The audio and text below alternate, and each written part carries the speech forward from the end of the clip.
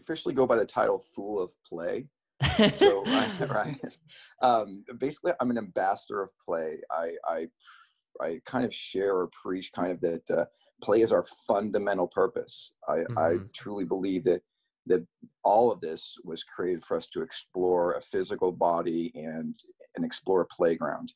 So how do I ex- how to express that in the optimal way of reminding us that when we come here, we're in a play-filled state. I believe when we come here, when we arrive here our, mm-hmm. as babies, we want to explore our world and, we, and we're trying to play with things just to have a, a meaning to it. And then as we grow up, we're trained to believe that work is more important than play and stop stop doing that because it's it's counterproductive and so we mm-hmm. shut down that part of us that really wants to explore that mm-hmm. so yeah i just I, I, try and find various ways of playing and mm-hmm. juggling is juggling is one of the most phenomenal ways i've come across mm-hmm.